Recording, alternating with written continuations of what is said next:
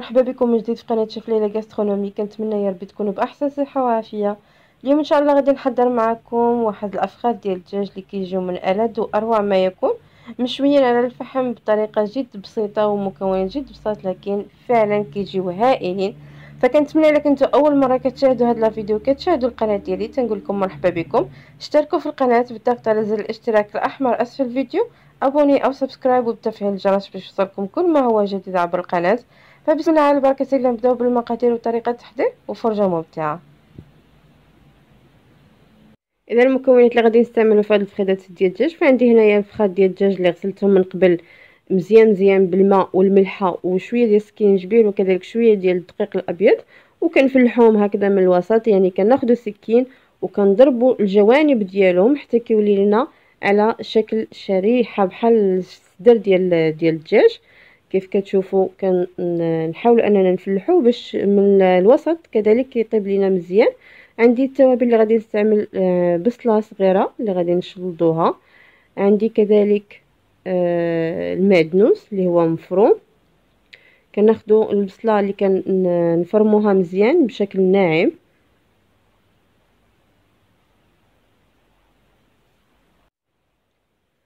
صافي من بعد ما قطعنا البصلة غادي نضيفو آه سنوف ديال الثومه هكذا غير راس واحد ديال الثومه غادي نحكوه في الحكاكة رقيقة. أولا ممكن نستعملو الآلة ديال الثومه فكيبقى حاجة اختيارية. كذلك غادي نضيفو بشره ديال الليمون الحامض. كنحكو القشور ديال الحامضه هكذا صغيرة. وهي نفسها اللي غادي نعاودو نقطعوها على جوج وغادي نعصروها على الدجاج. هاد الحامض كيعطي واحد كيخلي الدجاج يجي نفتي إلا ما كناش كنتوفروا على الحامض فممكن نستعملوا حتى الخل. ثم غادي نزيدو المعدنوس المفروم. المعدنوس فقط بوحديتو بلا ما كنضيفو القزبر. غادي نضيفو كذلك التوابل. بما فيهم التحميرة غنضيف واحد المعلقة صغيرة عامرة ديال التحميرة.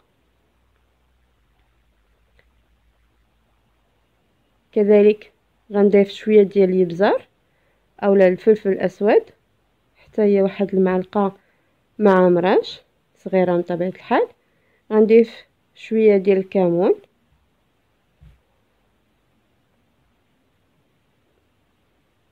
ثم غنزيد هاد التوابل ديال المشويات اولا المشاوي اللي كيتباعوا جاهزين في كارفور اولا في المحلات التجارية الكبرى.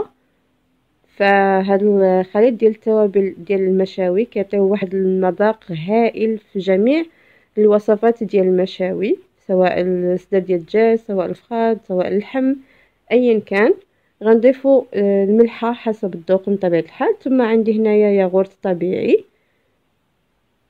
اللي غادي نضيفوه كذلك للفخيدات ديال الدجاج.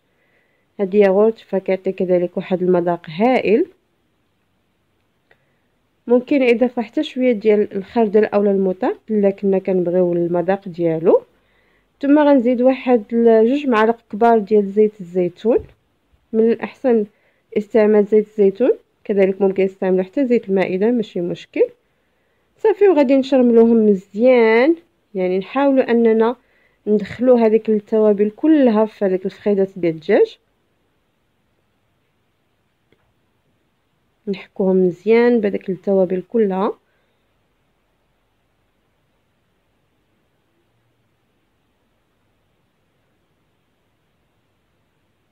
صافي من بعد ما كنشرملو هاد الفخاد ديال الدجاج مزيان. غادي ناخذ واحد البلاستيك غذائي غادي نغطيو به هاد الفخيدات ديال الدجاج وغادي نخليوهم يرتاحوا. من الاحسن من الأحسن أنهم يباتوا ليلة كاملة باش كيتشرب لينا داك العطرية.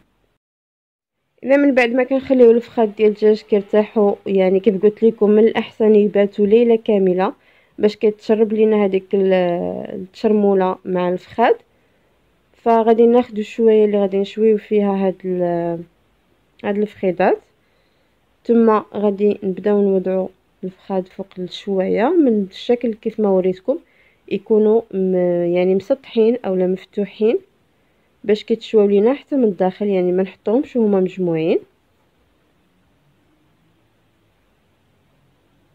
فكنوضعو واحد حتى واحد ماشي مشكل. واخا يكونوا ملاصقين في بعضياتهم راهم كيتشواو عادي. لأنهم déjà راهم متشربين هذاك العطرية مزيان فكيجيو فتيين. غنكمل بهذا الشكل حتى نعمر الشوايه كاملة. صافي فمن بعد ما عمرت الشوايه ديالي كاملة بهذا الشكل غادي ندوزو باش نشويوهم بطبيعه الحال. ما كاين ما أحسن من الفاخر أولا الفحم فغادي نشعلو الفاخر ديالنا وغادي نحطو هاد الفخيدات يتشواو بطبيعة الحال يكونوا على عافيه مهيله نحاولوا أننا ما نجهدوش عليهم العافية باش كيطيبوا على خاطرهم. ومرة مرة كنبقاو نقلبوهم حتى كيتحمر لينا هذوك الفخاد ديال الدجاج وكنحسوا بأنهم طابوا ونبيكيهم هكذا بالموس. فلا كانوا طيبين راه غادي نعرفوا. ونزولوهم وندوزو باش نشوفوهم الشكل النهائي ديالهم. اذا هذا هو الشكل النهائي ديال الفخاد من بعد ما شويناهم. كيجيو على هذا الشكل كنخليهم حتى كيكتسبوا داك اللون اللي هو ذهبي آه أولا بني ففعلا كيجيو من الذ وأروع ما يكون. كنتمنى أنكم تجربوهم لأنه فعلا كيستحق التجربة. وكيف شفتوا فهما مكوناتهم جد بسيطة.